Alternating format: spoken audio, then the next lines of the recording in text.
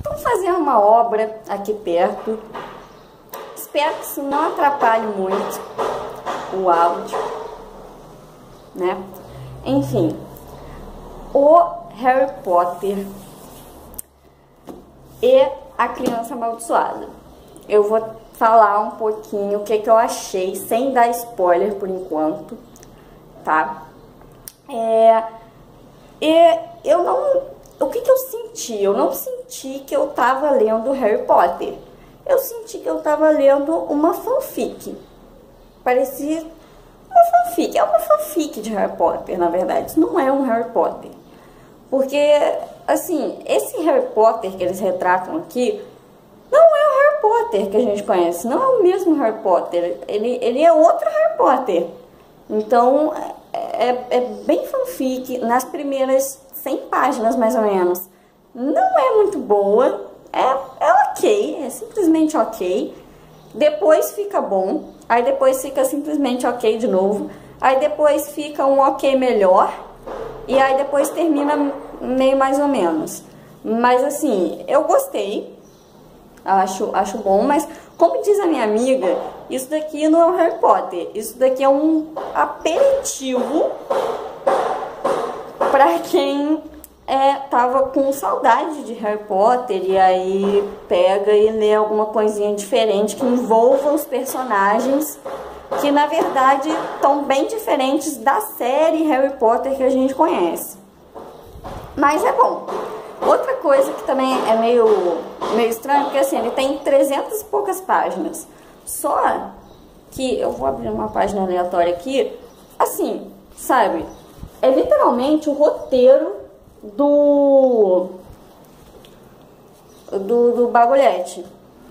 Então, assim, tem o nome das pessoas e o que elas falam e tal. Não tem muito detalhe de cena, de nada assim. Enfim. Aí, ah, vou adiantar um negócio aqui que eu fiquei um pouquinho chateada. Tem uma menina aqui no livro que ela chama Delphi. Aí, essa Delphi, não é spoiler não, tá? Relaxa. Essa Delphi, ela tem cabelo prateado e azul, tá? prateado com mechas azuis. Por que que aconteceu? É, começa falando dela, ela surge no livro, como é, ela é sobrinha de um cara e tal, e ela surge no livro, e aí não fala nada sobre as características dela. E aí eu imaginei ela a cara de uma amiga minha, ruiva, cabelinho curto, e aí do nada me aparece lá pro final do livro, fala que ela tem cabelo prateado com azul não consigo mais imaginar o cabelo prateado e azul. Fiquei decepcionada, que pra mim ela é ruiva. Pra mim ela continua sendo ruiva. Então assim, já lê com essa ideia de Delphi tem cabelo prateado e azul. Tá? Agora, vamos... Agora, por toa, vou falar aqui, Scorpio, tá? melhor personagem do livro é o Scorpio. Scorpio é amorzinho, adorei esse garoto. É, eu acho que era mais ou menos isso que eu queria falar sobre o livro. E agora eu quero falar umas coisas só que é spoiler. Então, se você não leu o livro e você vai ler o livro e você não quer spoiler, você para esse vídeo agora, tá? Vamos começar com os spoilers de desabafo, além desse da Delphi ter um cabelo aleatório. É, eu fiquei muito chateada, assim, com. A, a, eu não, não consigo conceber a ideia. Então, não consigo conceber a ideia de que Titio Valde entre é, Bellatrix trancado em Azkaban até ele morrer, ele tava, tipo, planejando um ataque, mas que hora, que hora que titio Valde deu uns chocolates plaques na Bellatrix pra ter uma filha, entendeu?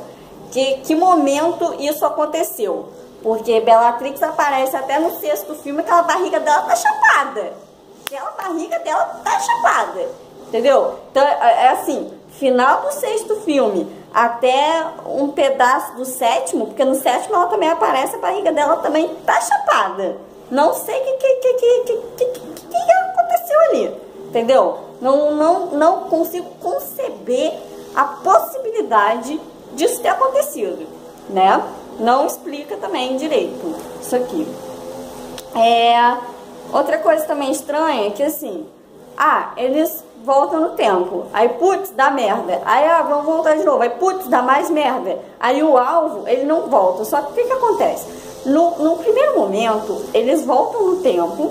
E aí, quando eles voltam para o tempo real, é, a história mudou, mas eles estavam imunes a essa história que mudou, porque, na verdade, né, eles eram a mesma pessoa do anterior, antes deles mudarem a história. Enfim. E aí eles voltaram sem saber de nada, e aí perguntaram, e aí, Delphi, o que, que rolou aí? Aí ela falou. Aí, na segunda vez, na hora que eles voltam, faz sentido, óbvio, o alvo não voltar. Porque, é claro, se o Harry morre, o alvo, de contrapartida, o Scorpio, ele é, teve uma vida completamente diferente do que a vida que ele teve no primeiro mundo, assim, que o Harry não morreu e blá blá blá. E aí ele volta imune às mudanças que aconteceram enquanto ele tava, tinha voltado no tempo. Então a personalidade dele continua a mesma. Ele não sabe o que, que aconteceu. Então, ao mesmo tempo que seria estranho se o alvo voltasse, porque tecnicamente ele não poderia existir, já que o Harry morreu. É estranho ele não voltar e o Scorpio não sofrer nenhuma mudança, sendo que na verdade ele era uma pessoa completamente diferente do que a pessoa que ele é. é, é isso é um, um pouco esquisito. Eu achei que ficou um pouco estranho na história. Eu não sei, eu acho que eu tinha mais coisa que eu tinha achado meio estranho na história e, e eu já não tô lembrando mais. Mas enfim, é, é isso aí. Eu achei meio esquisito esse negócio. Tiveram algumas coisas que ficaram meio estranhas. Esse negócio do tio Valde ter um filho, uma filha, né, no caso, achei esquisitíssimo. E, e, tipo, a Bela aparece direto nos filmes, com a barriga chapadinha e tal. E aí, sei lá, né? Ela pode jogar aquela de tipo, ah, é uma adaptação, é porque não era para ninguém saber que ele ia ter um filho, mas achei estranho, achei esquisito. E aí, assim, como é que nasceu na mansão dos Malfoy e o Draco não sabe quem é? Sabe? Umas coisas assim, meio estranhas, eu achei. Mas é bom o livro, eu, eu gostei. É um, um aperitivo bonzinho. Tem a, a parte que eles começam a voltar no tempo que eu achei bem legal. Eu li bem rápido essa parte. Assim, não demora para ler, eu li o livro em dois ou três dias. Isso porque eu não peguei muito também. Porque praticamente só fala, então não, não demora muito para ler mesmo. É legal.